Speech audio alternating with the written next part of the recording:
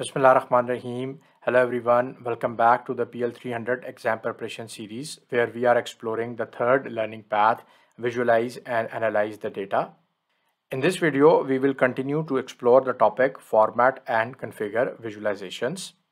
So now let's have a look at the combo chart, which is also shown here as a line and stacked column chart and there is another variant which is a line and clustered column chart. So the, so the, we have two variants of the combo chart uh, where we have simply one where we have a clustered column chart and other we have the stacked column chart. So we'll start with the clustered line and clustered column chart and let's see what are the options that we get here. So remember once we were exploring the visualization so there there is there was this terminology combo chart and i have been using it in this video as well. So a combo chart is a chart where we combine the line chart and the stack chart functionality.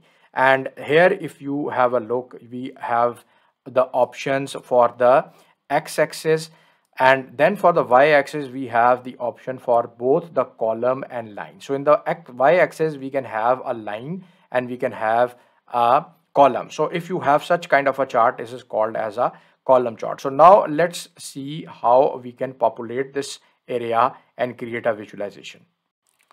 So here I have populated this area with the same measures and categorical columns that we have been using in the previous video. So I have the sales region in the x-axis. Then on the column y-axis, I have my total cost. So, so this total cost would be shown in a bar chart. So this bar chart here is actually representing my total cost. So you can see here, it is also shown in the legend. And then the line chart or the line portion of this of this chart is showing the total quantity and you can see the total quantity here as well. So now if you have a look at this area so we have this as a combo chart. So we are both seeing both the values. So remember i said that we, we want to see a correlation. So as we already know that quantity and cost are related we are using the quantity in the cost formula if you remember from one of the earlier videos. So so so see if um, you can see some kind of a correlation. So as the quantity goes down the cost is also going down here. Similarly i can pull in more measures in both the column and line area. So let me just pull in my total transactions in the column y-axis. So here you see that another bar has been added now which is actually showing my total transactions. If I take it out of here from the column area and pull this in the line area of the y-axis then you are going to see another line is has been added. And now this line the green line here is showing my uh, my total transactions. And you can see that there are multiple lines now. So you can have the same effect that we saw for individual column charts and line charts and this is just a combination of both. So rest of the options related to the formatting that you see here in this area all of those options are again just the same options that we saw for the column for the for the column charts and for the bar for the line chart so i really do not need to go and change uh, change these into into this so there is a counterpart of this um, this one which we saw which is the which is the stacked column chart. So what i am going to do is that i'm going to just convert this into a line and stacked column chart. And what the effect really is going to come here is is in this area. So the effect is going to come here for the column area that instead of creating a new bar so if i put something here it is going to put that into the stacking thing that we saw. So instead of creating a new bar here i see now that i have a bar which shows my total transaction. So that is the only difference between the one uh, we saw where we had the clustered bars and here where we have the the stacked bar. So that is the only difference. Rest of the options are exactly the same. The last visualization or the last chart that belongs to this line and area is the ribbon chart. So let me just just click on this ribbon chart here.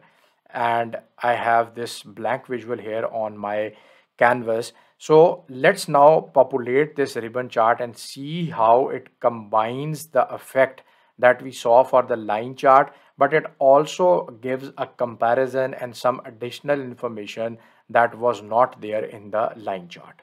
So here I have populated my visual build area and instead of pulling in the date I have pulled in the start of month so that I have fewer values on my x-axis and the visibility of the visual is better then the same total cost in the y-axis and I have put the, the gender inside my legend. So what I am seeing in this area here is that I am seeing a ribbon effect which is different from a line effect. So this is a ribbon, one ribbon is showing the the female gender and another ribbon is showing the male gender. And you can see that over the period of time you can see a clear trend that for which month which gender had a bigger contribution towards the total value of my total cost.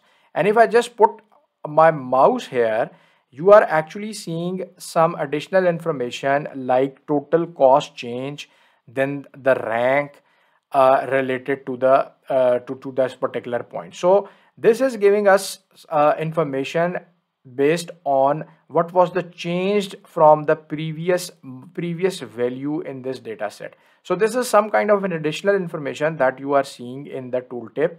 And similarly, if I come here, it's the same I am going to see for for my uh, for my female for for my female gender as well.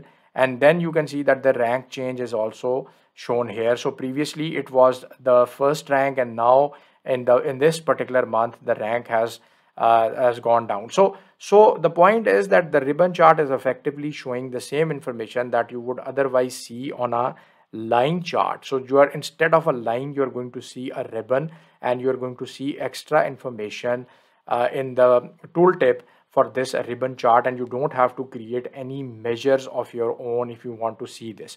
But the only issue is that you uh, if this has so if you have if it has multiple categories. So let's let's uh, replace this gender with uh, let's say the the sales region that we have been looking in some of the other visualizations. So let me just change this with the sales region.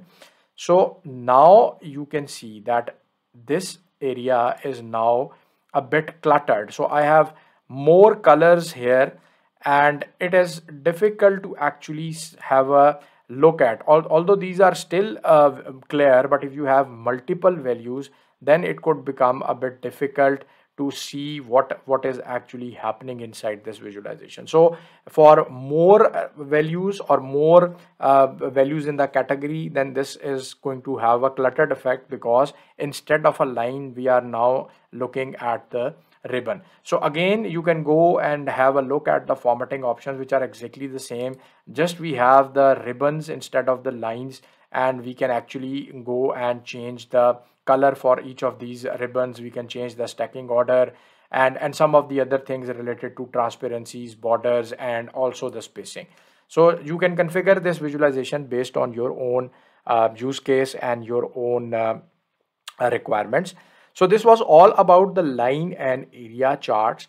And in the next video, we are going to have a look at some of the other visualizations and how the uh, those visuals can be configured and some of the formatting options which are different from the visuals that we have just seen. So that's all for this video and I'll catch you up in the next one.